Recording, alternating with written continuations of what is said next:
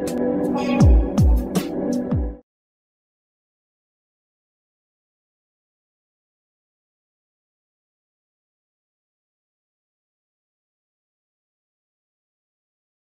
天，呃，透过黄珊珊议员，我们有直接到台北市政府的办公室，跟林清龙还有各局会处长商谈，然后关于这条马路现在到底工程是怎么样？那结果呢？他们目前仍执意要去在今天跟厂商签约，然后就是就要进行这个开路的工程。本来有一条马路。就是新华路，如果各位媒体朋友可以实际去走一遍，你就可以知道这是一个二十米的道路。这条二十米的道路，他们本来应该是可以直接从市民大道贯穿到忠孝东路，但是现在这里呢变成了 City Link 的人行通廊。他们说特别透过了都市设计审议会议，把这条具有交通功能以后南港车站特定区转运站的特有交通功能的主要干道把它封住了。然后现在呢，要支持的穿过瓶盖工厂开一条十米的道路，然后说这个是人行通道，人行通道有需要特别要花钱开吗？你根本就不需要浪费这个钱。然后后来我说你们这样是浪费公帑，结果他们说什么呢？说这个不是我们要付钱付钱去开的路，这个是所有的私地主，所有参与从化的地主必须要负责的公社，所以这条马路呢不是浪费公帑开的。这是请所有的私地主来负责的。现在呢，这条计划道路，它将直直的穿越平盖工厂。然后这个在郝龙斌时期就通过了都市计划，但是那时候柯市长在选前的时候，呃，我们跟他拜托过很多次这件事情，然后他那时候还跟我们合照，告诉我们说没有问题，他选上绝对没有问题。然后结果呢，后来我们不放心，所以我们又去。在某一次帮他竞选的场合，那时候我们是支持他的，我们是站到台上去跟他说，柯市长是一个诚信的市长，是值得挂保证的市长。所以那时候呢，他就帮我们签了这个联署书，说支持南港瓶盖工厂原地全区保留。然后结果后来我们就放心了，就想说，哎，那没有问题了。就后来他们私底下仍然持续的让这个工程还有各方面的各。各样的，他们不愿意去变更原本的都市计划，仍然持续的要进行开路，然后甚至呢还持续的要把这个国有财产署的整个的土地进入湿地重划案里面做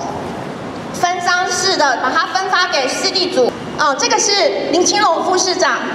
当初还在当学者的时候，在二零一零年，他跟国际非常多知名的大学召开了国际论坛，包括英国建筑学院，然后还有呃东京大学、华盛顿大学，然后还有荷兰的，就是非常有名的学者，他们一起来讨论，就是南港的未来，他们要如何成为一个愿景非常有愿景的文化城市以及生态城市。然后那时候瓶盖工厂是以一个就是文创的中心来出发，然后那时候规划是全区保留的。那时候他也说，他那时候规划说道路其实他示范的道路是如何转弯的，就是道路你不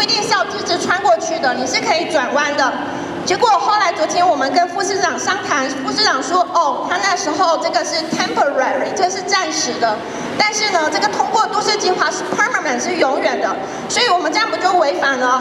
柯市长说的，说我们必须要有弹性吗？难道所有变，所有之前郝市府定下的计划，我们都不可以变？那所以大巨蛋也不可以拆了，然后台北机场也不能全区保留了，是这个样子吗？那我们为什么要选你来让改变成真呢？然后另外一件事情，我们更不可以理解的是，就是我们特别去接到了，呃，林清龙副市长当初出版的这本书。他那时候，他是非常努力的，想要保住瓶盖工厂。不要严正的呼吁文化局跟台北市政府，所以我们希望说，你们口中说的所谓的有良善的沟通，所谓的跟民间团体重新建立信任关系，是你们真的要拿出真正的行动。你们不要去通过媒体放话。文化局的李崇华局长他说，他以后碰到这种争议的案件，他都要采取所谓的 idea 台配一个创意工作营的方式来解决这些争议。但是很遗憾的是呢，我们看到李崇华局长，他透过媒体，他说他声称说他要跟民间沟通，他要透过这种沟持续不断的沟通来跟我们民间团体修复关系。但是我们却看到呢，这个 Idea Taipei 在这个月的七月底举办这个尝试，它预计是要讨论眷村的题目，其中就包含我们嘉禾新村哦。但是我们却发现呢，文化局他们办这个 Idea Taipei，他们竟然没有主动邀请我们民间团体去参加这个活动。是在之前四月底的时候，文史大会决定要保存的两栋历史建筑，这两栋都是那种以前很高级的一些将军或是一些上校住的一些高级的官舍。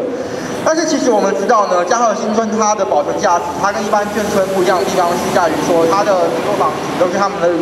后来进去的居民他们自己盖起来的，所以看到它的巷弄相当的弯曲，它的建筑相当的参差不齐，是一个相当具有特色的一个眷村。但是如果我们的 idea 台配，它声称是要听取民众，透过民间的创意啊激荡，来把我们的一个眷村的气味给保留下去。尤其林中花局长，他过去在媒体专访的时候，他曾经说过，他去过，他去了一间市场，然后他说。所谓的这种老旧市场的更新，它重要的应该不是思考说如何去盖一个新的房子，而是如何把这种市场面这种老的这种老生活的这种在地的气味把它留下来。但是目前文化局他们在四月底做这个文史保存的决定，他们只留了两栋高阶、相当方正的官舍。那如果他们在月底的这个啊第二台北，他们针对这两栋方正的高阶官舍来做讨论、做发想的话，那以后大家看到的嘉新村，是不是就会觉得说？原来嘉禾新村就是一个很高级的一个这样的一个这样的一个眷村，而看不到过去的从从阿去讲所谓的这种重要的这种生活的气味。